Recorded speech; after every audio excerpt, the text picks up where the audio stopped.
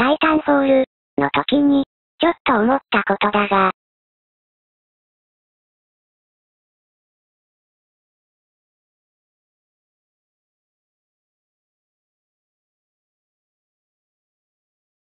戦力差がありすぎる場合が、でも逆説的なリアリティを、そこに発生してる気になったことはある。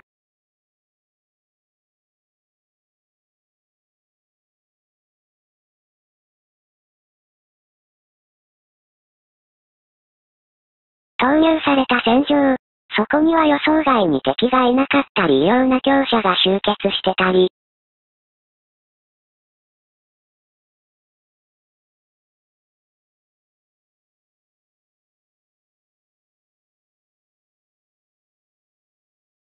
良くも悪くも物語、そのキャラになったような臨場感はしかし、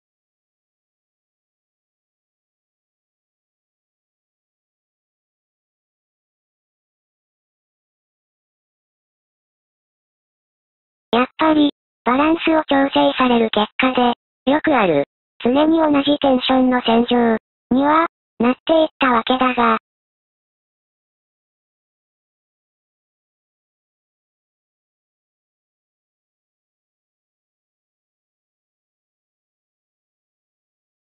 方向性は、どこ？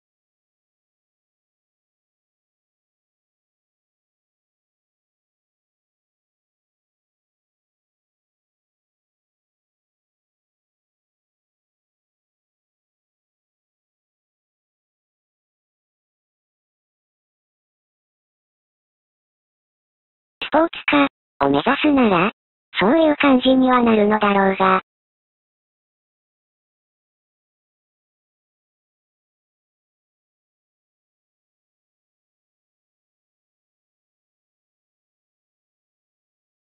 運営側の調整、そこには重い失望感が、どうしても、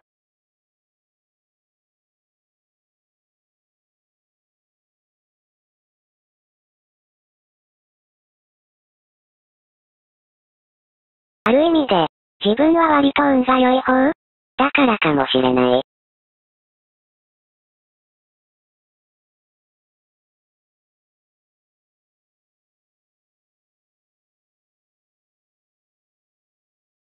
それならいつかは勝てる。しかし、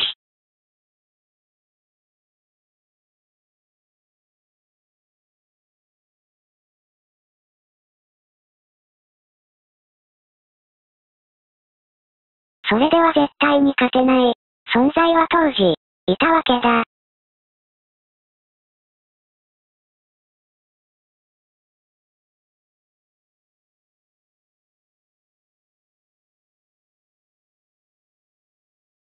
今は、その辺弱くなっている？